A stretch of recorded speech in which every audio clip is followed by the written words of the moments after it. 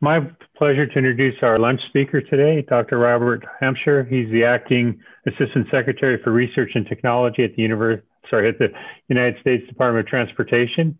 Uh, he was just recently appointed that uh, to that position.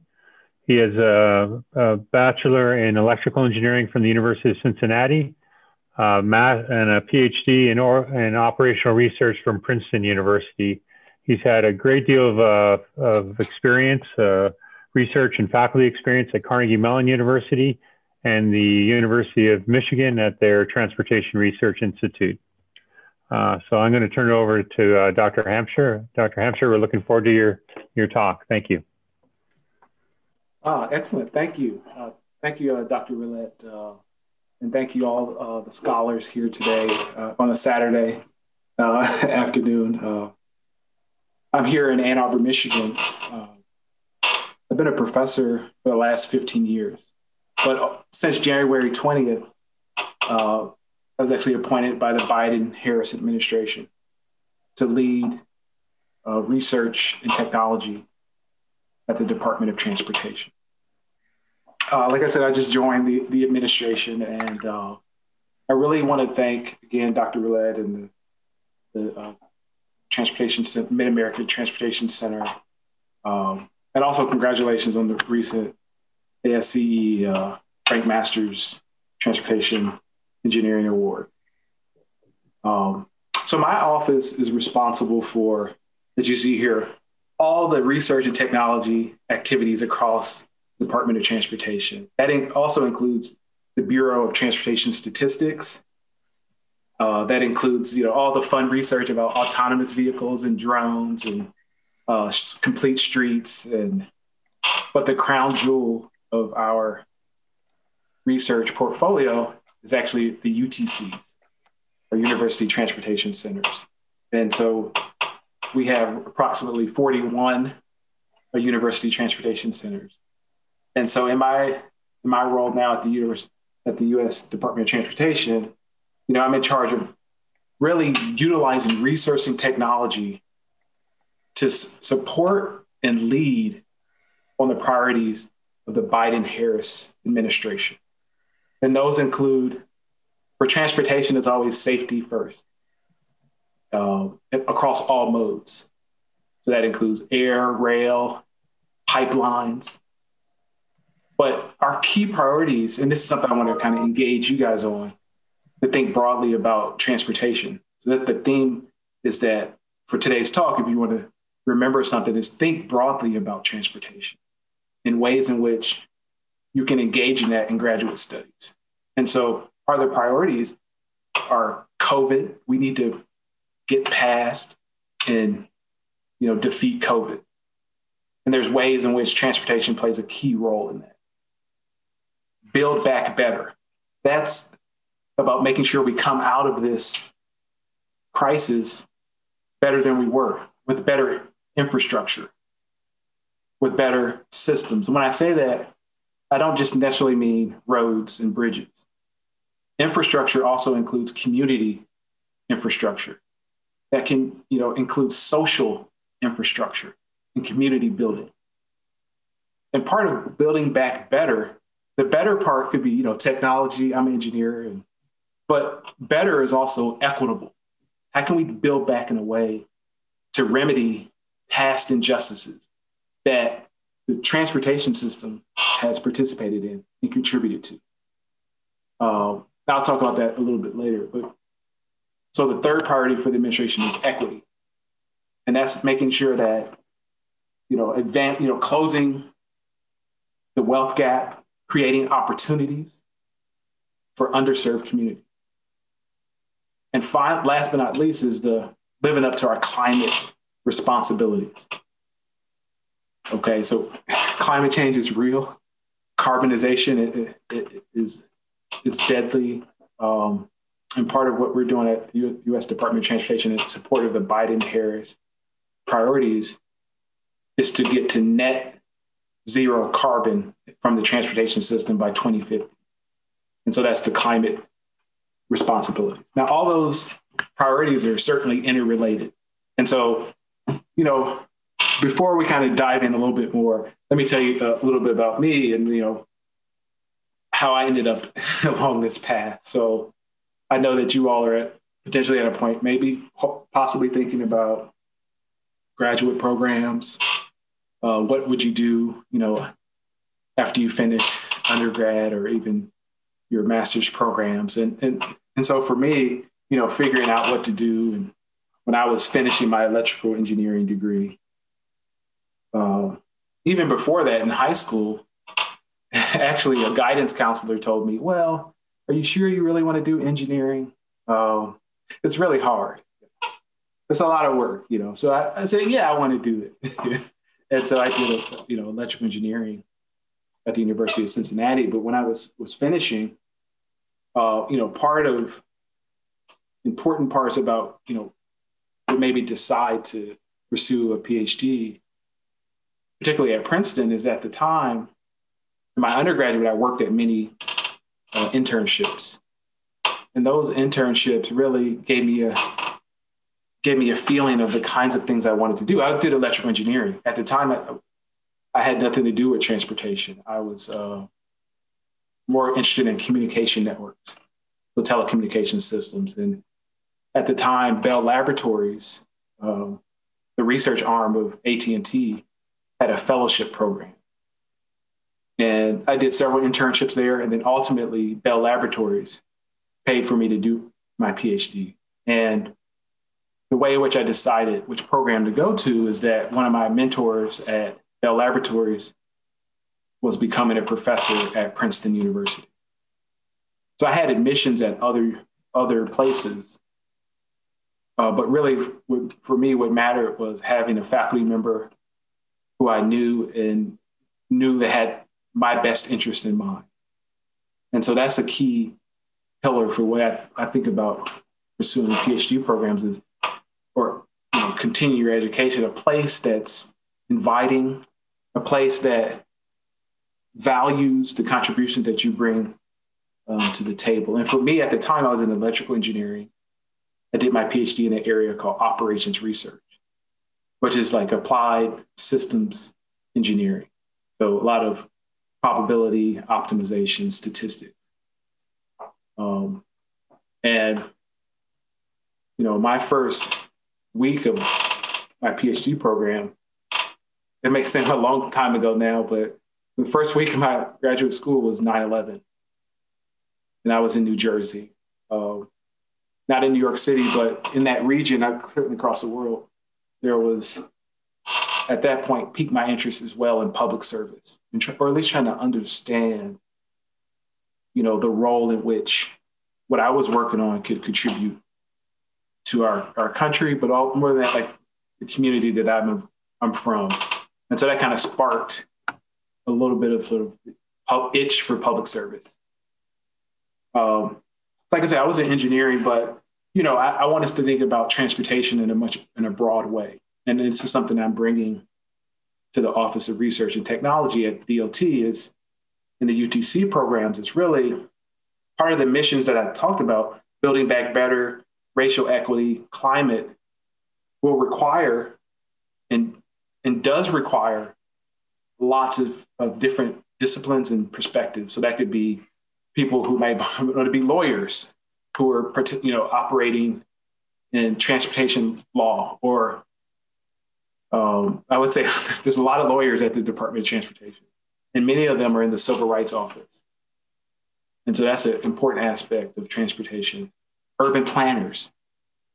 Uh, you know, you have even uh, from the entrepreneurship side, we know that over the last few years in mobility, all the different from Ubers to Lyft to many other ways, I think um, computer scientists are, it would be really exciting to have.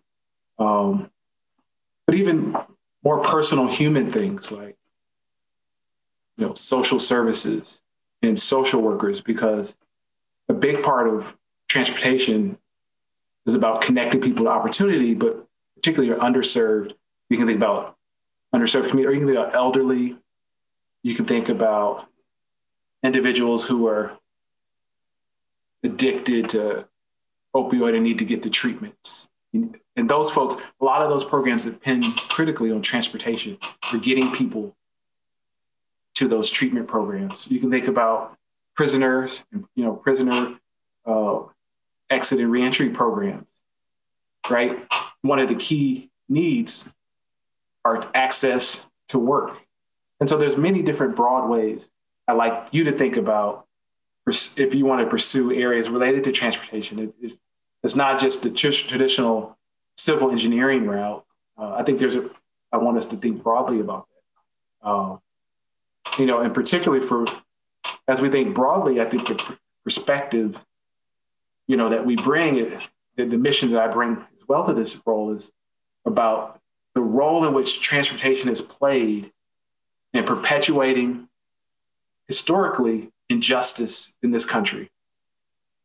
And particularly, I always talk about like, well, you know, transportation is connections to opportunities. But, you know, for many of us in our families over, over the years, my family's from Mobile, Alabama.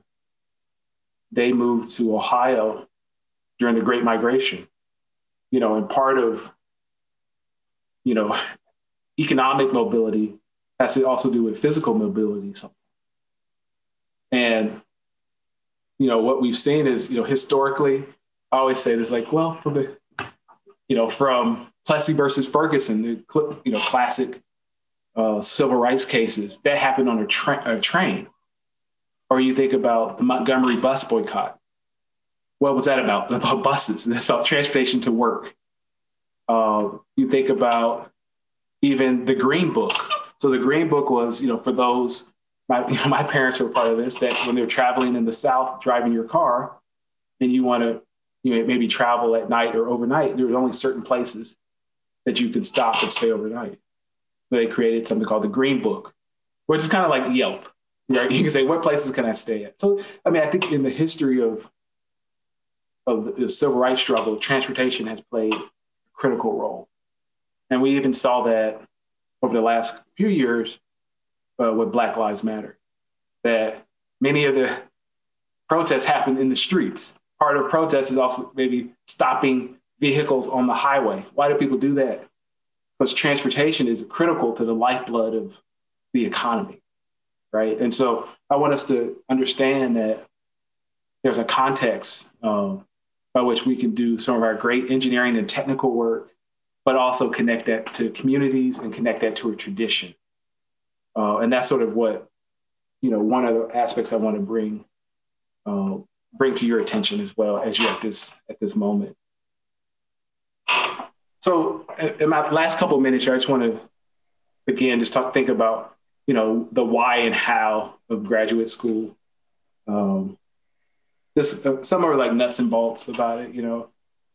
Uh, I think as I said, I wanted to paint a picture that you know there's some key priorities um, that are critical to outcomes of people and communities in this country, and transportation plays a, can play a key role in that. And that that role is tied to a history of social movements, of opportunity, connecting people to opportunity, and um, you know can play an accelerating role in in this in the way that people achieve and, and focus on well-being. Um, I wanted to talk a little bit about, you know, thinking about graduate school. So one thing I, a couple pointers that I've sort of taken throughout is, you know, for me, what was really important was finding a place that was hospitable, that had support for you as a graduate student, that you could connect with the faculty and staff. Um, it would be great if you're not the only only one there. That would be a, a bonus.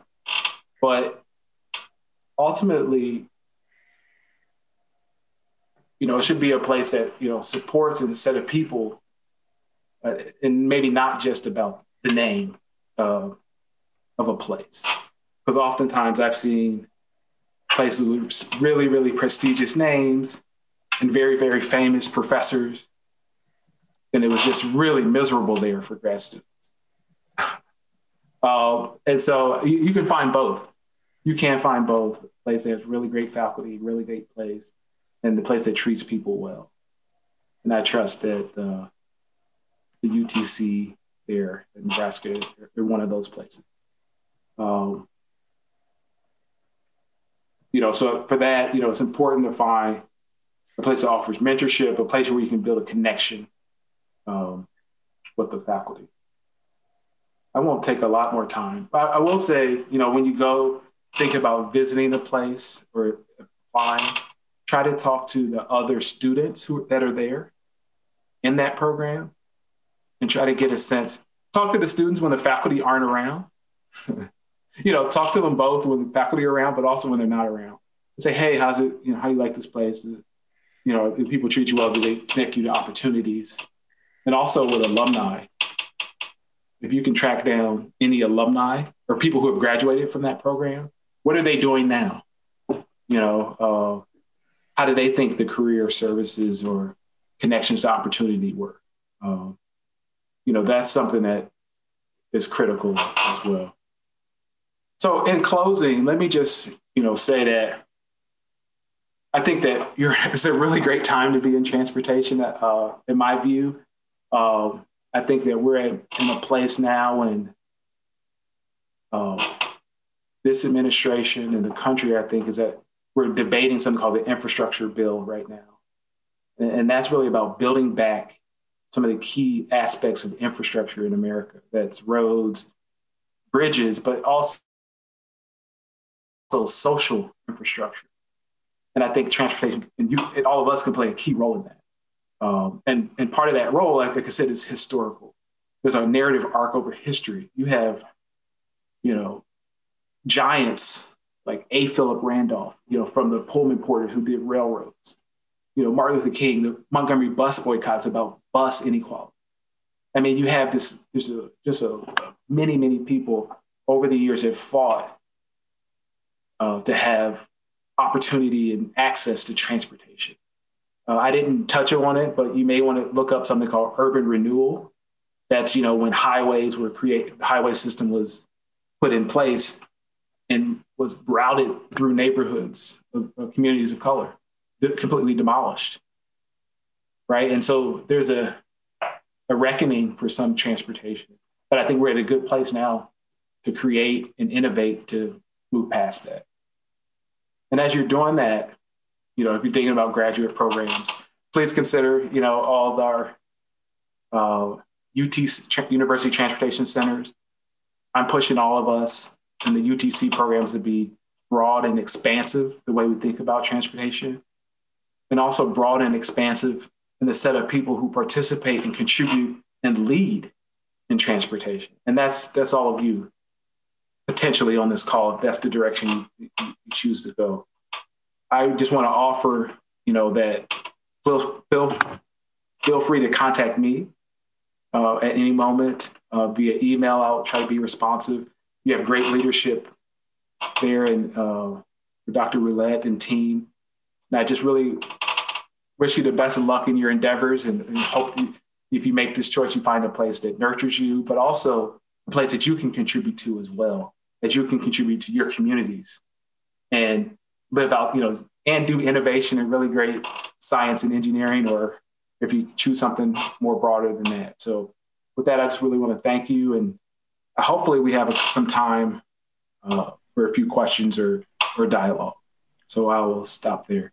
Thank you so much. Great. Well, thank you. Uh, and we do have time for questions. So, if, if anyone has any questions, please feel free. I have, I have ex- I'm That's sorry. Good. Um, Please. my question is, um, you a very in a um a big role, and congratulations on your new role. Um, I want to know what are some things or what are some methods that you use when you are um when you are trying to be creative in your mm. role, your position, and aside from that, when other people may not see your vision, but you see mm. it, so like how are something what are to make other people see it how you see it? What what is your route there? Yeah, so thank you, Giovanna. Um, Zimbabwe. Okay. Thank you. Uh, you were cutting out a little bit, but I heard you ask about how do you be creative in some of the mission, and then the second part of the question I think was how do you convince other people of that okay. vision? Yes. Oh, okay. Uh, you know, I think that um, for the creativity part, I'll take that first. Uh, you know, I um, I, I don't know. I, I, read a lot, and I read broadly, uh, not just uh, technical things I read, but also history. So, you know, I, I read very widely, and I think that helps, particularly history too. To get a try to generate some new ideas because that's part of you know doing a PhD. You know, you're going to generate and do something new that other people haven't done before. Um, and as far as convincing other people of, of the vision, I think that one thing I like to do is enlist other people. So I go in and I don't claim that I know everything. I have a sense of where I want to lead people, but I want to listen, you know, and, and really then let other people come to the same idea that I created. So I, I listen and then just kind of guide them along to hopefully they end up where I am, but also maybe I learn something and, and modify the vision. So I think I, I like to listen and then that's sort of my way of convincing too, because if someone comes to the idea themselves, then they become more vested in it. They're like, oh, that was a great idea. you know, and I say exactly. So that's sort of one approach. Um, I see some other questions. Any? Who's next? I have a general question. And I are you? This uh, is, uh, I am uh, Dr. Chimba, Associate Professor in Civil Engineering at NSA State. Uh, do you think that you guys are going to have a UTC in uh, near futures uh, proposals? And uh, do you guys have any category for maybe like uh, minority universities like HBCUs, maybe? Because sometimes we just compete with the big universities and become a little bit disadvantaged. So maybe you're going to have a enemy category for maybe HBCU for UTCs, maybe something like that. good, very good. I, I, thought this session was for students, but I'll also answer this question because I know this is an important question. Yes, uh, in the next reauthorization that's happening, you know, the reauthorization expires in September. We are uh, proposals now to at least at least double the participation of HBCUs. Good. And possibly we have we're proposing to have uh, some HBCUs must be the lead. Okay. And so that's uh, there's no promises there, but that's a proposal that's that's uh, on the table that we created. Um, that's under consideration now. We know that there's at least two HBCUs that are leads right now. Uh, there's participation of, from others, but I, we want to at least double that or increase it. So thank you for that question. Thank you. I do have a question. um, so you, you did mention, um, you know, with the Biden Harris administration, that y'all's goal is to have, I believe, zero car- carbon by 2050. So, what are the necessary steps, or what are you trying to implement um, within your term to make sure that y'all reach that goal? Great question. Uh, so, you'll. I don't want to get too far ahead of our Secretary of the President, but on their campaign trails, they've announced, you know, electrification strategy for electric vehicles and charging networks so certainly electric vehicles are in that path, the critical path um, to net zero decarbonization, but also that electricity, as we know, must be come from clean sources. So that's you know together with our partners in utility industry, power utility industry, to decarbonize and uh, provide more renewable support for power generation as part of the story as well. Um, but we're also taking a full life cycle approach. So we know that, you know, building uh, vehicles, construction on roads, road construction, if you think about all the cement that's created, I mean, there's asphalt that's laid, that has tremendous carbon output. And, you know, uh, when you creation of, of, asphalt and cement. So there's roles, uh, has to do with materials as well. Uh, since uh, I started at DOT January 20th, we've restarted uh, something called the Climate Change Innovation Center within the Department of Transportation as a clearinghouse for innovation within the Department of Transportation. That's one initiative that we've started since we got into office. So, Chica, Robert, that's it. Thank you. Mm. I see Eric, uh, Dr. Jones. Yeah, Robert, I, I, didn't want to. I want the students to ask questions too, but I, am going to. 24 just came through, and I'm, I'm, I'm, I'm pushing for more graduate. You know, I used to run the GRP program in itself. Mm. I really think DOT could put a lot more graduate funds for grad for kids in urban and transportation. And, and I'm going to push out for the money because I, I know yeah. the big issue is we can talk all this good game, but if we could get more funds for graduate students of color uh, into urban renewal, infrastructure, sustainability, I think it's going to make a mm. huge impact. And I, am stating the obvious, but I wanted to kind of state it. no, that's great. No, it, it, you saying uh, above and beyond UTCs, or you saying embedded inside? Yeah, I think the UTCs are, are, an attraction. They bring it to it, but at the end, end of the day, there's no specific pipeline for the UTCs. It's a supplement to UTCs. I think it should be mm-hmm. kind of, you know, we're, we're, this program here. I think we we envisioned this in 2010. Judy and I and, and, and Larry and, and Stephanie Adams and part of it was we would love to have given out scholarships for those who actually qualified directly to oh. the urban renewal transportation. So it's something I think if you can direct connection, because at the end of the day, a lot of our students, you know, they're on the bubble, and if there's the yeah. money's not there, their parents are telling them to get a job, right? Yeah. So, just my thoughts. Thank you. I didn't want to dominate. No, that's great. That's great. Let me just push you one more. So, at the at the undergraduate level, or also the, the, the, pipeline, if they don't get it by their junior, senior level and get access to going to graduate school, they're going to go get a job. And, um, and so I think that right now we're leaving a lot of talent on the field, specifically urban planning um, and also transportation, because right now it's a, it's a hybrid field. And without that funding, people either go into civil or they go into operations research, industrial engineering. Without right. those hybrid fields, they're not as attractive without the funding directly into tying to sustainability. You're an OR guy, so you kind yeah, of know. OR guy. Yeah. yeah. I know what you. Thank you for that. that thank you. We'll I'll, I'll, follow up on that. Thank you. Uh, I have a question in regards to your new role. Yeah. Um, how do you go about balancing um, what you know is ethically and morally correct and balancing out like the political side of it? And also, are there like any fellowships or anything within your office that's kind of leapfrogging off to Dr. Jones's question. Yeah, great, great question. Drexel, so where, where are you? Uh, what uh, university are you at? Uh, Southern University in Baton Rouge, okay. Louisiana. Okay, excellent.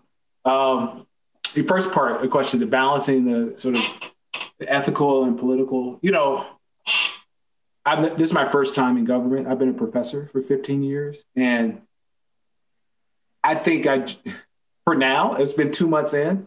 I've joined in a time where the alignment of my values and what we're trying to do within the Department of Transportation are very aligned. So I, right now, I don't feel, I mean, this is not like the equity story that, uh, that background I mentioned. It's not something like I'm doing on the side. This is like the job. And within the DOT, from the secretary through the policy, the deputy secretary, this is, you know, this is the mission. And and so, uh, you know, and so that I'm very aligned on that. And all the folks, the folks in the leadership that I'm working with are incredibly aligned in that. So um, maybe it's just a great moment and it's just the first two months in, but uh, I think we're really trying to push genuine change, move the needle. Um, the second part about internships, yes, we have. Uh, the answer is yes, we do have um, various summer internships programs. I'm still quite new. I don't know the exact names of them. There's, um, I don't know if is Dawn uh, Tucker Thomas on the on this call. Maybe yeah, not. I don't believe she, I don't believe she is, uh, okay. Robert, right now. But I do know that you you've uh, that you just sent out one of the intern calls, and what I'll do is make sure that all the students get that call. from oh, your uh, you. From there as part of as, and we'll do that within the next few days. Oh, thank you so much. Yeah, so we do have several, at least two different summer internship programs that I'm aware of. Is that one the one that is uh, acronym is STIPDG? Is that? Yeah, that one. Yeah, STIPDG. Okay. Okay. That's one of them, but there's also um, at least one other that I'm aware of. I just can't remember the name right now. Well, uh, this is the VP from uh, University of Maryland Eastern Shore. Okay. We, don't, we know that the only thing constant is change. Yeah. So what structural uh, parameters or constraints are you going to infuse within the four years that you're in there that will foment whatever decisions or changes that you're trying to make towards this green uh, world yeah. that we're, we're, anticipating? Thank you. Uh, what a great question. This is something that we're grappling with now. Like, how do we make structural change within the department, for example? Let's start there. Uh, so we've, you know, developed a couple. Um, like I said, this climate change center, and we've began to staff that, you know, with with full time employees and connected to uh, the existing laws and statutes. So at least it exists uh, and it's consistent with law. So that is at least one way to embed it into the structure of the organization. And us as political leadership, we're making sure that we're engaging the career staff who have been there and will be there for after we're gone in the training and education programs. So we're looking at the workforce development within the Department of Transportation to to educate people on you know climate change or ed- educate people on you know equity issues. And so that's mainly a workforce um, approach is is one of the things because um, we're well aware of that. I mean, we spent a couple months, you know, repealing the executive orders of the previous administration. So we realized that, um, you know, that there's certain things that are temporary or change. And so we are. Thank you for that question. That's that's something that we're know, trying to focus on. Great question. Anyone else have any questions?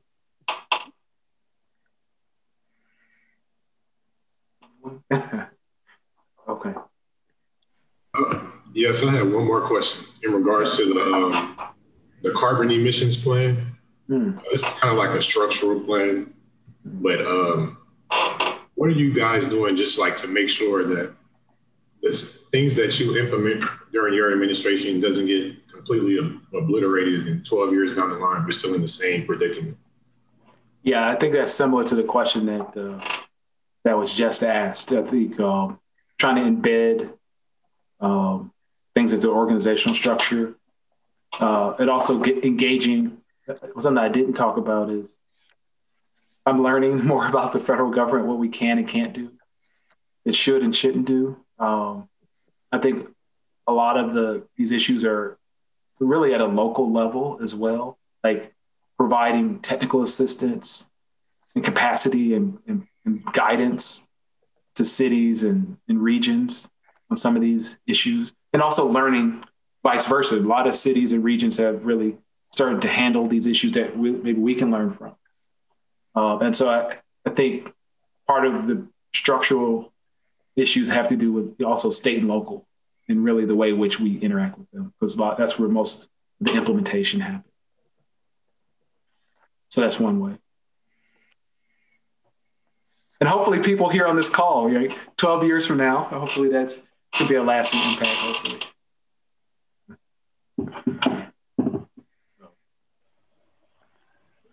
I really thank you all for taking the time and, participating in this really great uh, program, college program and UTC there. And on the Saturday afternoon on Zoom again, you know, everyone is living on Zoom. So I think I, I, I acknowledge that and uh, really look forward to interacting with all of you guys uh, going forward. I really want to be here to listen, you know, uh, and, you know, participate and lead this community. And I'll do what I can to, to continue to advocate for UTCs. But more than that, you know, be it HBCUs, communities of color, students of color, rep- underrepresented students um, and folks. That's what I'm here. it's part of my mission. So uh, please help me in, in, in, helping you, you know, kind of thing. So, uh, Dr. Rilett, thank you again for having me and, and thank uh, all the participation today. Great, and, and thank you for participating as well. And I know you're giving up your Saturday afternoon, and, and we appreciate that. You know, one of the you know, one of the things we miss in doing the, the virtual rather than in person is that if you were here, you'd have probably another half hour of questions where everyone sort of yeah. comes up to you afterwards. So I would again encourage the students that, you know, part of the part of the benefit of these activities is to to get connections and and reach out after the fact if you have questions or want to follow up. Uh, almost everyone you're going to well, everyone you're going to hear talk is more than willing to help. Um, I did get one little tidbit that that you may have caught in uh, Dr. Hampshire's talk. He said, "Well, when you go visit, go visit and talk to the students, and that's great advice." Um, I know when I was in your position, I thought, well, I, I can't afford to go visit. And, and one of the things you're going to find out is that we will actually, the universities will actually pay you to come to the university. They'll put you up in a hotel, they'll fly you up, and and so that you can do these types of visits. You know, back when once COVID's over, of course, uh, that, will be back. So just a just a really wonderful talk, Dr. Hampshire. So thank you very much. And uh, Judy, I'm going to turn it over to you to give us our instructions for the for the next phase of the program. Well, thank you. Everyone. Thank you. Well, before uh, uh, Dr. Hampshire leave, let's uh, use our chat knowledge to uh, thank him or thumbs up, clap hands. well, thank you. Okay, good deal. All right. Appreciate it, thank sir. So All right, welcome. Take thank care. You. Enjoy the rest of your day and weekend. Bye bye. Okay.